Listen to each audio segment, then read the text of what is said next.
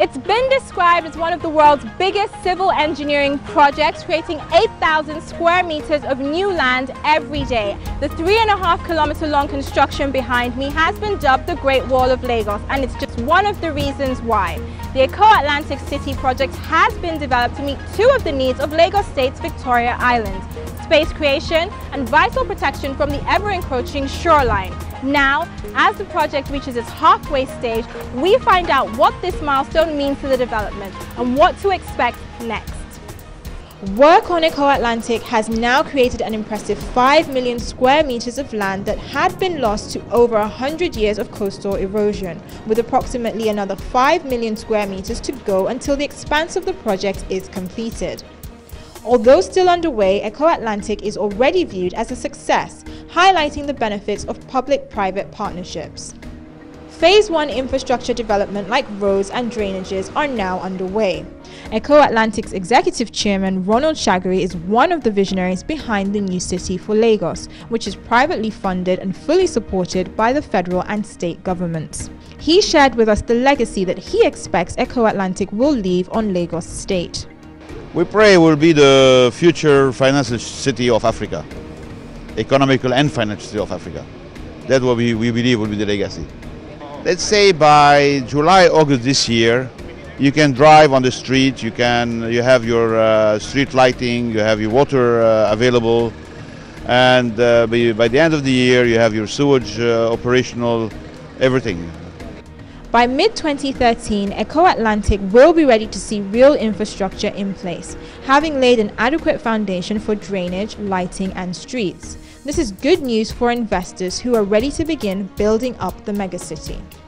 Orlean Invest is one such company. They have acquired about 400,000 square meters of Eko-Atlantic land, which they plan to develop extensively for oil and gas industry residential requirements. The initial part is to develop, as I said, our residential complex, 400,000 square meter, then a business district for offices, for banking, finance, oil and gas, an international hospital, there will be a clinic inside the state as well, an international school, and uh, a, a, marina, and uh, let's call a shopping mall, uh, eco shopping mall. That's the start, which is basically where we are now, up to Victoria Island.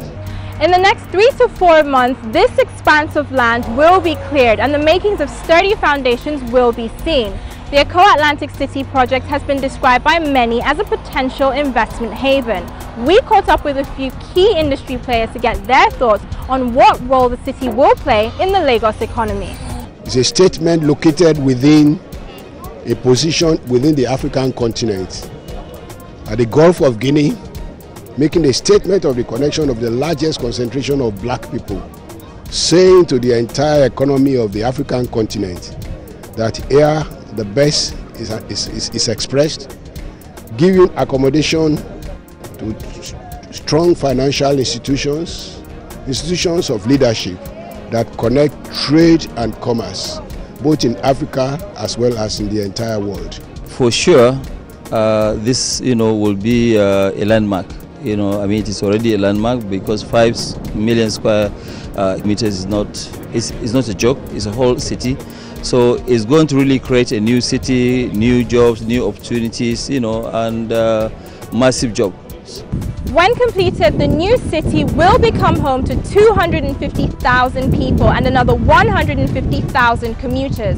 The blend of both commercial and residential planning shows that the project will create a 21st century city that is not only well built, but well organized, sustainable and successful. I'm Keisha Gitari from the Eko Atlantic City project here in Lagos.